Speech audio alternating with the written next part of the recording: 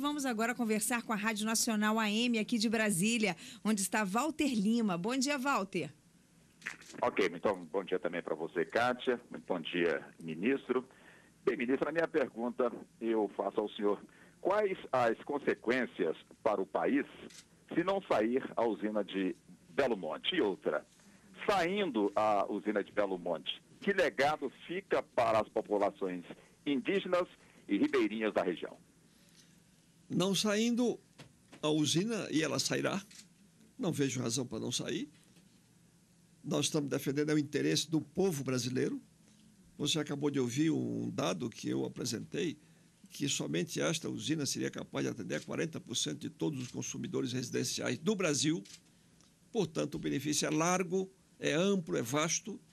Mas se nós, por qualquer razão, não tivéssemos podido iniciar a construção de Belo Monte, nós teríamos que construir inúmeras térmicas a óleo, diesel, a carvão, térmicas caríssimas, energia cara para o povo, poluente, amplamente poluente, emitindo CO2 na atmosfera, ou então nós desligaríamos, ô Walter, a energia da sua casa, da Rádio Nacional, e de tantas outras residências e tantas outras indústrias por falta de energia, que é tudo quanto nós não queremos fazer.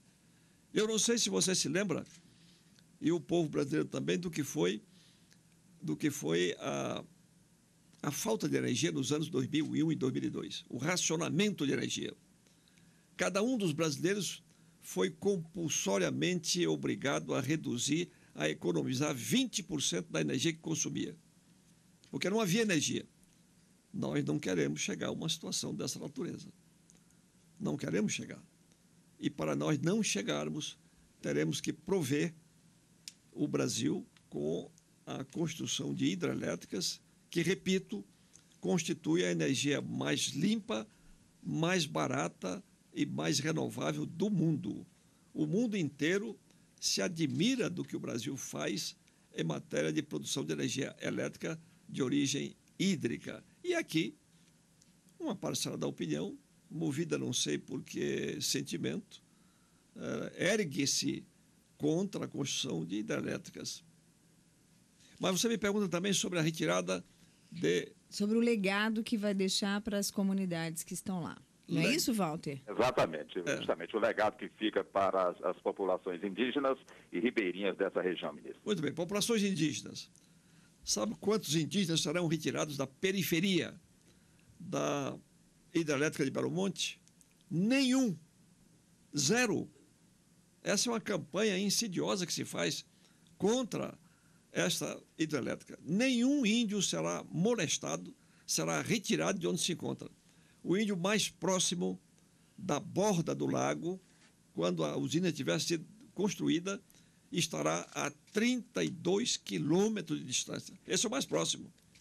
Eu acho que eu levaria dois dias para andar 32 quilômetros. Pois bem, há outros índios que estão a 500 quilômetros, 200, 800 quilômetros. Portanto, nenhum indígena será prejudicado.